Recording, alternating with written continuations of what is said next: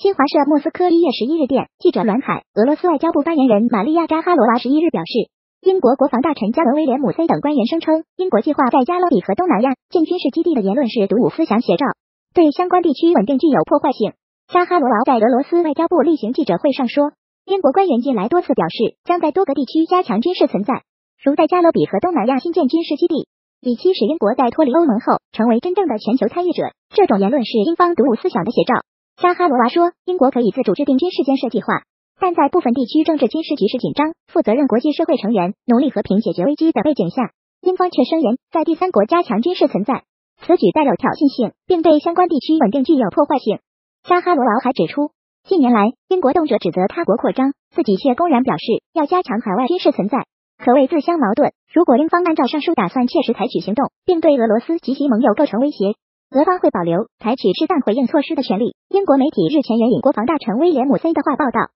英国计划在加勒比和东南亚新建两个军事基地，东南亚基地候选地点包括新加坡和文莱。分析人士警告说，此举或使东南亚地区形势进一步复杂化，并为部分亚洲国家的关系蒙上阴影。在辞旧岁迎新年之际。伟大的变革庆祝改革开放四十周年大型展览在国家博物馆继续火热展出。主办单位研究决定，大型展览闭幕时间为二零一九年三月二十日，在国防和军备建设专题展区，我们可以全力为近距离地感受人民军队伴随着改革开放的伟大征程所取得的巨大进步。在主战装备模型展台上，火箭军的现役导弹装备模型集中亮相，展示了火箭军先进的核常兼备武器装备体系和与日俱增的远程常规精确打击能力，核导弹实现跨越式发展。在新一轮国防和军队改革中，中国人民解放军形成了全新的五大军种力量构成，火箭军是其中之一。在二零一五年十二月三十一日正式组建，火箭军的前身是第二炮兵。第二炮兵领导机关成立于一九六六年七月一日，由国务院总理周恩来提议命名为第二炮兵。走过了先由战略导弹部队后由战略导弹部队领导机关的发展历程。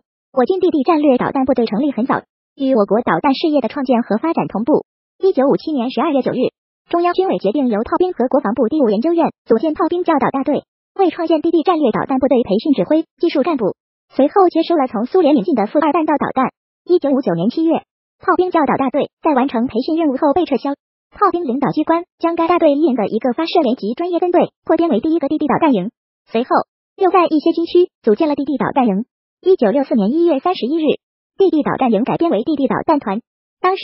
战略导弹部队主要使用苏制负二进程弹道导弹和国产仿制进程弹道导弹进行教学和训练。一九六六年开始换装国产中进程弹道导弹，二十世纪七十年代初又装备了国产中程弹道导弹，发展成为初具规模的独立兵种，较快形成了作战能力。二十世纪八十年代初开始装备陆基洲际弹道导弹，组建起装备进程、中程、洲际弹道导弹的地地战略导弹部队以及作战保障和技术勤务部分队。火箭军是中国战略和力量的主体。承担着陆基战略核威慑与核反击的作战使命，战略核导弹装备是火箭军的重要基础。长期以来，火箭军部队建设和装备发展始终笼罩着一层神秘的面纱。一九八四年十月一日，国庆三十五周年阅兵式上，第二炮兵首次公开亮相，展示了东风四和东风五弹道导弹等主战装备，引起了全世界的广泛关注。作为中国第一代陆基导弹，东风四远程导弹和东风五洲际导弹都是液体燃料弹道导弹，体积大，设备多。需要在发射前加注推进剂和氧化剂，发射准备时间较长，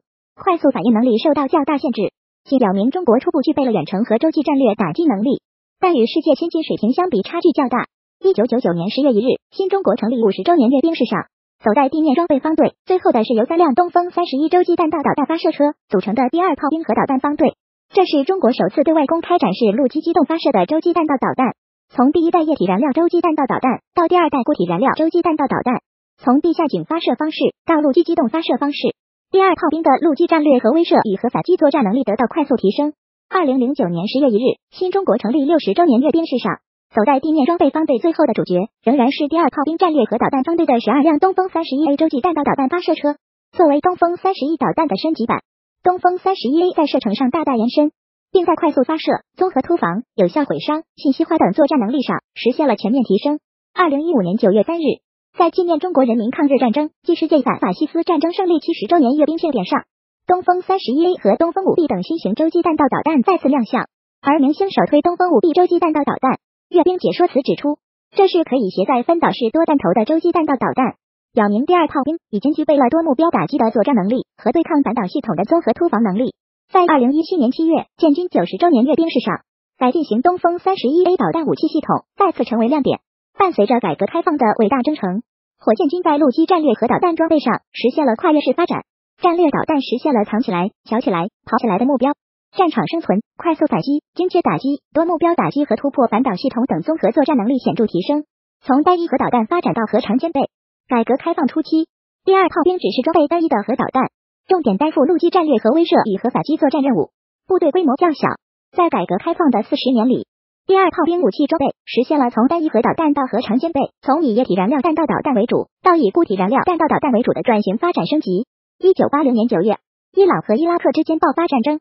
在两伊战争后期，双方发动导弹袭城战。伊朗使用先进的飞毛腿战术弹道导弹直接攻击伊拉克首都巴格达，而伊拉克则在西方国家帮助下对飞毛腿导弹加以改进和增程后，用于攻击伊朗首都德黑兰。大规模的导弹战终于迫使战争双方回到了谈判桌上。一九九一年的海湾战争中，面对多国部队强大的空中攻势和电磁攻击，伊拉克丧失制空权后，陷入被动挨打的境地。但伊军战争中，先后发射八十八枚战术弹道导弹，对以色列、沙特阿拉伯、卡塔尔等境内的目标进行远程打击。其中二月二十五日的一枚导弹落在在赫兰机场附近的美军营地里，当场炸死二十八名，炸伤一百多名美国大兵。这是整个海湾战争期间美军最大的一次战场伤亡。两伊战争和海湾战争让飞毛腿导弹名扬天下。二十世纪八十年代中期，中国航天导弹工业部门开始立项研制战术弹道导弹。在一九九九年新中国成立五十周年阅兵式上，第二炮兵展示了两种新型常规导弹——东风十一和东风十五进程战术弹道导弹，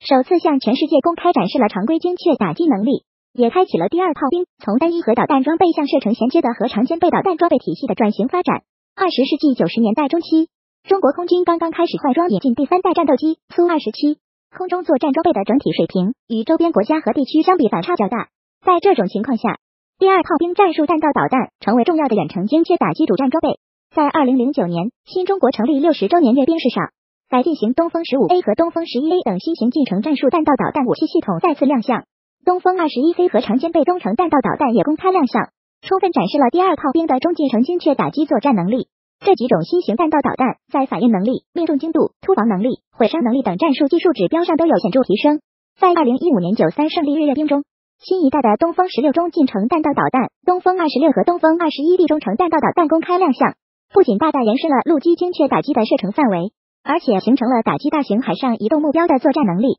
表明中国在弹道导弹技术创新发展上走在了世界前列，并形成特色。从弹道导弹发展到巡航导弹。弹道导弹与巡航导弹在飞行弹道和弹体结构上有明显不同。弹道导弹靠火箭发动机提供动力，在初始段进行有动力飞行，火箭关机后进行无动力惯性飞行。到达弹道最高点后，在地球引力作用下自由下落，再入大气层打击目标。传统弹道导弹的飞行弹道通常为抛物线自由落体弹道，洲际弹道导弹则普遍采用末端载入机动式弹头。巡航导弹则在大气层内进行全程可控式有动力飞行。通常使用小型化涡扇发动机或冲压发动机等吸气式发动机。导弹只携带推进剂，与空气中的氧气结合燃烧产生推力，以克服飞行阻力。靠弹翼结构产生气动升力，以克服自身的重力，保持等高度等速度的巡航飞行状态。正是由于飞行弹道不同，弹道导弹和巡航导弹各有特点。弹道导弹突破大气层的束缚，可以实现远程快速打击，即使是上万公里的洲际射程，也只需要飞行半小时左右，而且具有较高的突防能力。巡航导弹则主要利用低空飞行、弹道规划、地形跟踪、防区规避、隐身技术等综合手段，也可以具备较好的低空突防能力，但飞行速度较慢，打击上千公里外的目标需要飞行一两个小时。巡航导弹通过采用惯性制导、地形匹配制导、卫星导航、形象匹配制导等多种复合制导方式，可以实现对中远程地面固定目标的高精度命中，原概率误差为米级。在一九九一年海湾战争中，美军除了动用强大的空中作战力量进行高强度空袭。还在战争初期，从美国本土出动 B 五二 H 战略轰炸机发射三十五枚 AGM 八六 C 空射巡航导弹。美国海军提康德罗加级巡洋舰和洛杉矶级攻击型核潜艇发射二百八十八枚 BGM 幺零九战斧巡航导弹，对伊拉克地面目标进行远程精确打击。海湾战争让世人再次领略了巡航导弹的威力。这些年来，美国海军累计发射两千多枚战斧巡航导弹，打击伊拉克、南联盟、苏丹、阿富汗、利比亚、叙利亚境内的目标。中国航天导弹工业部门展开巡航导弹的技术攻关，先后突破了小型涡扇发动机等关键技术，研制生产了先进的巡航导弹。在二零零九年新中国成立六十周年阅兵式上，第二炮兵长剑副十陆基巡航导弹首次公开展示，战术技术指标和整体作战能力均达到了世界先进水平。火箭军是我国战略威慑的核心力量，是我国大国地位的战略支撑，是维护国家安全的重要基石。在新时代，火箭军正按照核常先备全体设战的战略要求，增强可信可靠的核威慑和核反击能力，加强中远程精确打击力量建设，增强战略制衡能力，努力建设一支强大的现代化火箭军。新华社北京十二月二十日电题：维护和平是我们的崇高责任。继二零一八年世界舞台上的中国军队，新华社记者梅世雄，从国际维和到人海护航，从联演连续到反恐维稳。二零一八年，中国军队以更加自信和开放的姿态频频亮相国际舞台，